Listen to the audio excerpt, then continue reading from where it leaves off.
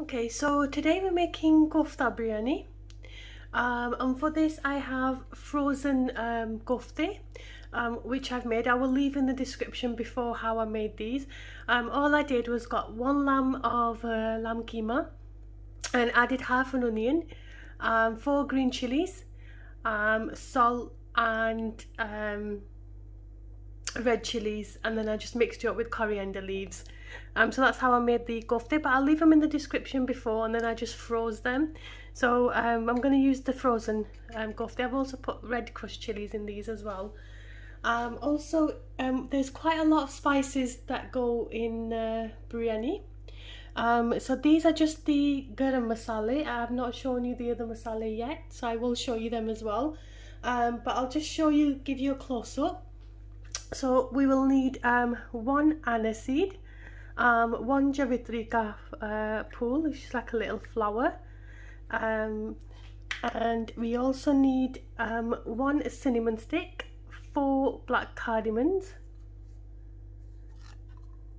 And we also need three cloves, uh, three green cardamoms and four black peppercorns. Also we need four bay leaves, um, sorry three bay leaves I've got there. Um, I've got one tablespoon of uh, cumin seeds and one tablespoon of coriander seeds. And we've also got nutmeg. Um, we're not going to use all of this nutmeg. Nutmeg is very strong so what we're going to do is when we blend all the masala in the blender to make a powder form we're just going to shave a bit of um, nutmeg. So I'll show you that at the end.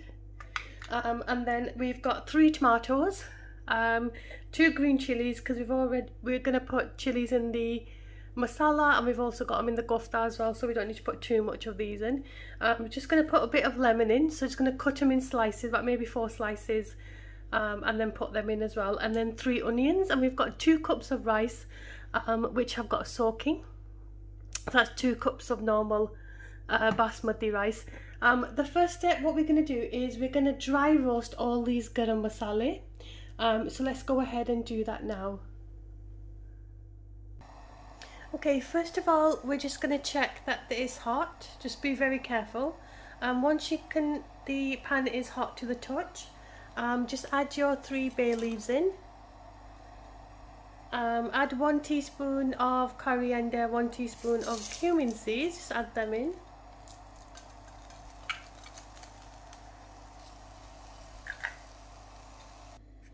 Um, add the um, aniseed and the Javatrika pool and just uh, make sure you've got it on low heat now. So start off heating the pan on high heat.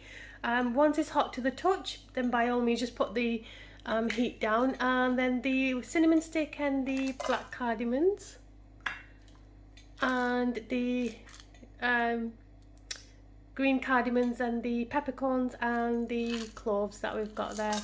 Add them and just heat them through just very gently, just heat them through. Once you can start smelling, you don't want to burn them, so please be careful. We're just going to heat them through. As soon as you can start smelling it, um, just turn the cooker off completely. So it literally takes like two, three seconds to be honest. You don't need to heat them, um, do it too much. Just, just need to heat it through. What you're going to do now is just turn the cooker off and we're just going to let that cool and we're going to put it in a blender. So let's go ahead and do that. Okay so now that we've heated the garam masala um, what we need is um, one tablespoon of uh, crushed um, uh, red chilies um, two tablespoons of salt um, one and a half tablespoon of red chili powder and half a teaspoon of turmeric. Um, we also need half a teaspoon of garam masala um, as well so we'll put that in as well. So let's go to the next step. Okay so in a blender just put all the uh, masala in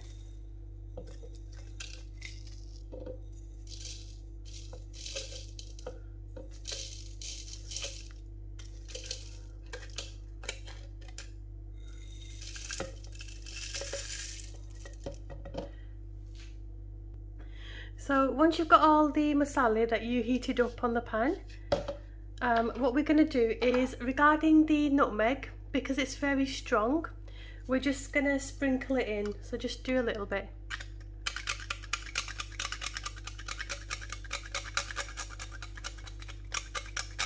You don't need too much because it's quite strong. Okay so to this we're gonna add half a teaspoon of garam masala.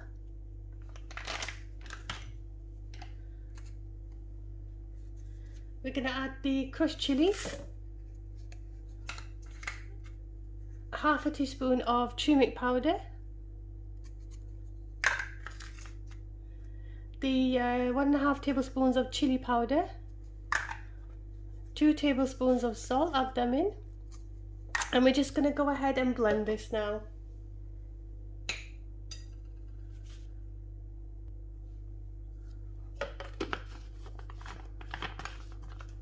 and that's going to be our uh, biryani masala.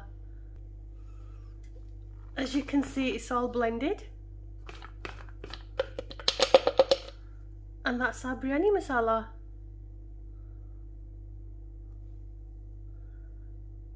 Okay so I've heated some oil in a pan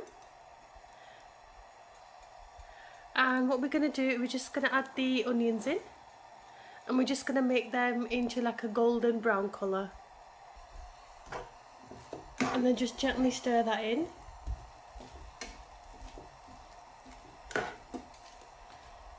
And then just cook them until they're like golden brown. And then we're going to add the ginger and garlic paste in. Okay, so the onions are nicely softened, but we do need to still brown them even more. But I'm just going to put one tablespoon of ginger and garlic paste and then just mix that in.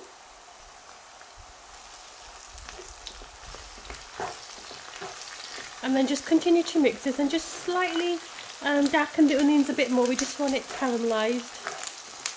And then just continue to do that. Um, we also need um, some yogurt as well um, which I forgot to show you when I was showing you the ingredients at the start. So I'll show you when we put the uh, yogurt in because we need to make a nice thick sauce Okay, so now that the onions are nicely caramelized, um, we're going to add the tomatoes in. So just add them in. And then just mix that in.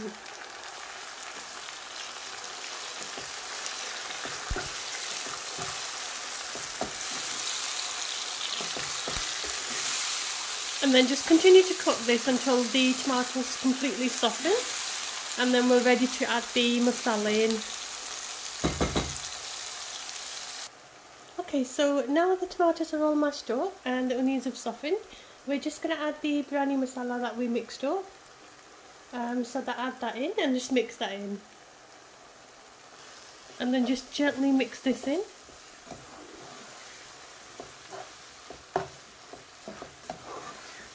And we're just going to allow this to cook for two to three minutes and then we're just going to add the yogurt in. Okay, so we're now going to add three heap spoons of yogurt. That's one, two, three, three heap spoons of yogurt and just gently mix that in. Okay, so gently just mix that in on one side so it doesn't curdle. So just, and then slowly bring it in all together with all the rest of the um, masala there. And then just cook this for another three to four minutes and then we'll add the uh, in the meatballs. Okay so we're just going to add some green chilies. All I've done is just split them in half and I'm just going to put them in whole and then just mix that in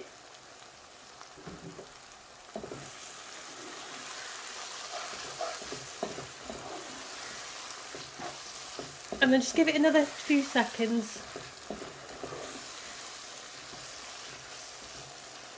Okay, so we're now ready to put the uh, frozen kofta in. So just gently place them in position.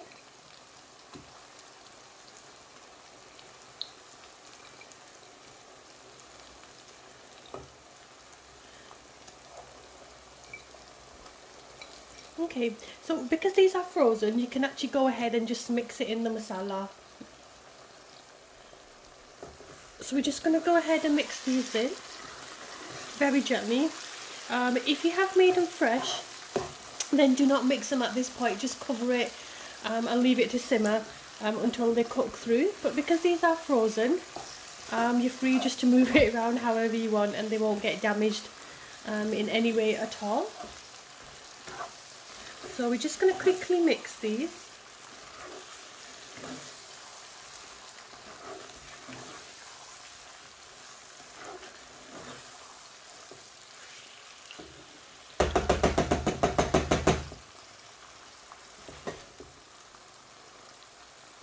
Okay, so after three, four minutes of you putting the gufta in, what we're going to do, we're just going to add a cup of water um, and then we're just going to cover that and let it cook and do not touch this at all now um, because they're frozen, they're going to defrost and if you do need to, if you feel as if you have to stir it a little bit, um, just give the pan a shake just like this but do not touch it at this point and then just put the lid on.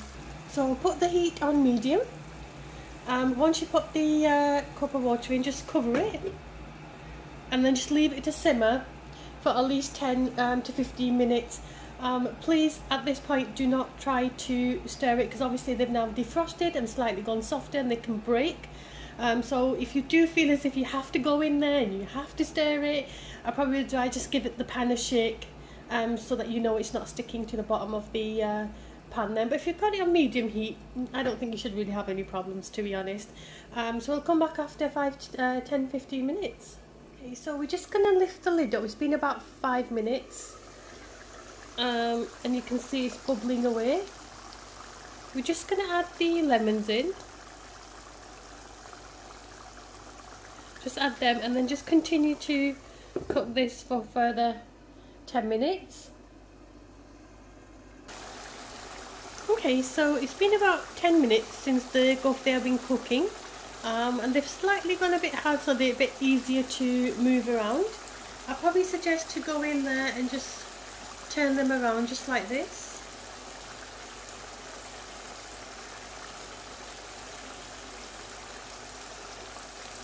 And just do that with all of them.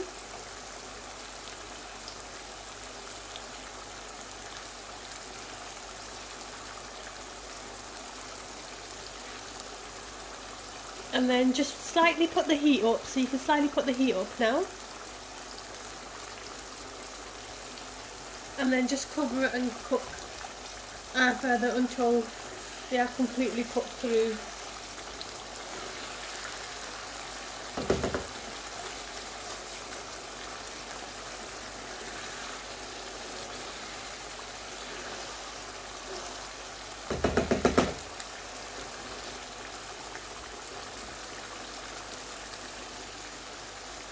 Uh, just put the lid on and just continue to cook this further. Okay, so it's been about 20 minutes now.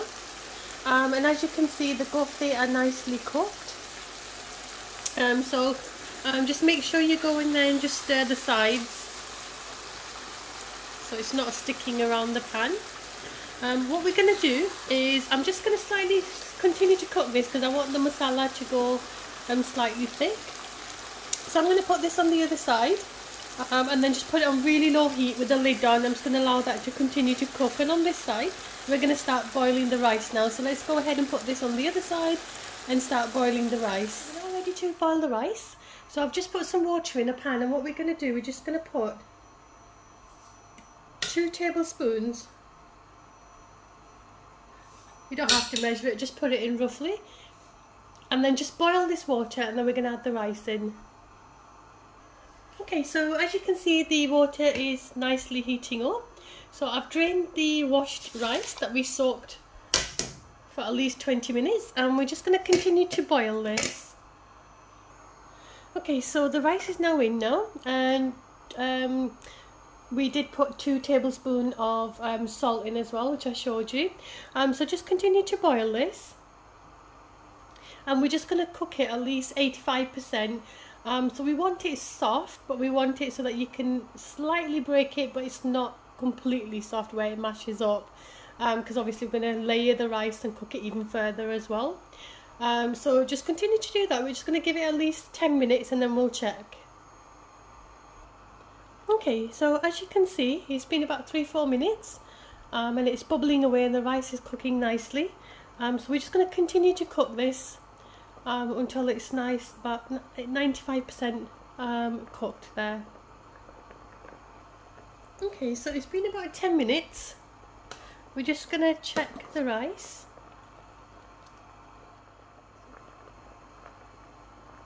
And we're just going to check, so if it, yeah, that's done. So we're going to take this off at this point. So I'm just going to go ahead and drain the water. Okay, so we're just going to check on the kofte.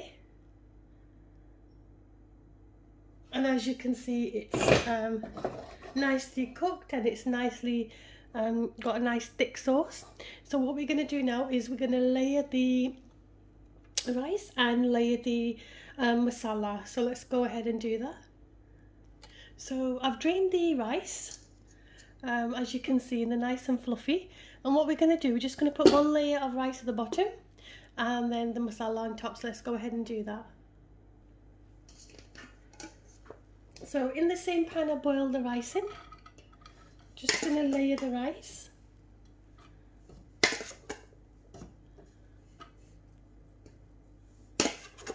And just spread it out evenly as you can.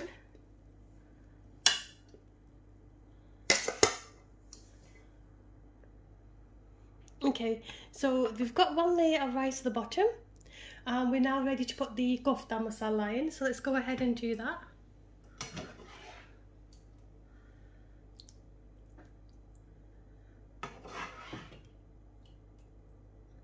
And then just spread it out as much as you can.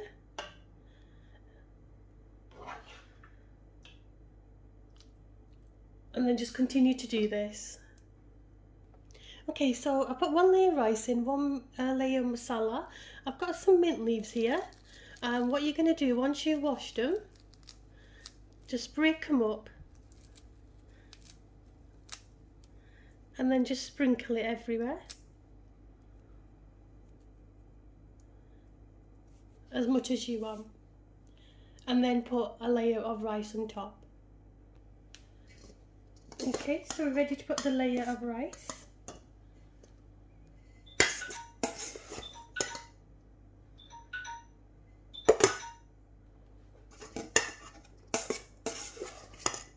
and then just continue to do this very gently. Be careful not to break your kofte. Hopefully this nicely cut, they shouldn't break anyway.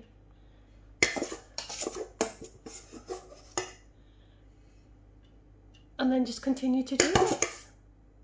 Okay, so what I'm going to also do as well is I've got a bit of zarda colour, orange colour, and I'm just going to put a few pinches everywhere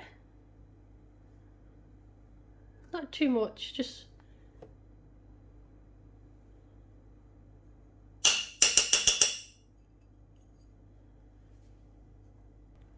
I'm also going to get a bit more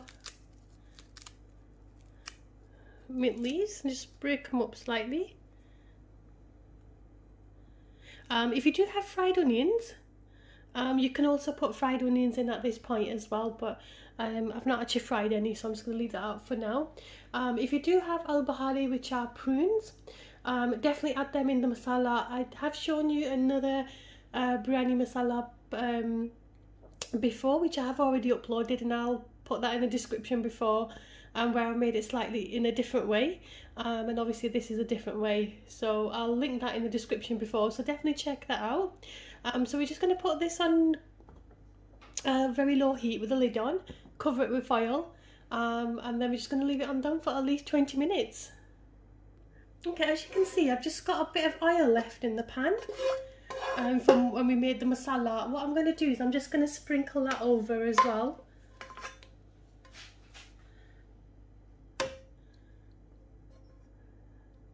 Just like this. Just going to go ahead and cover this with foil.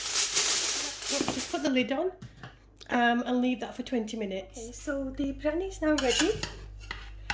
and I've mixed it all up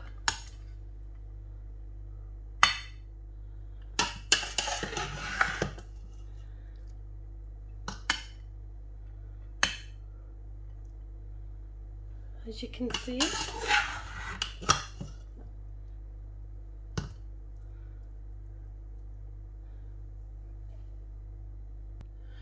okay so biryani is now ready. Um, and it's ready to serve.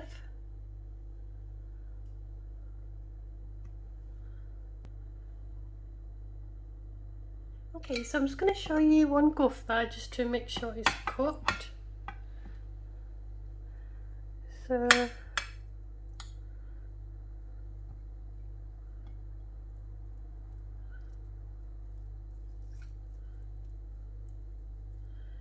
as you can see it's nicely cooked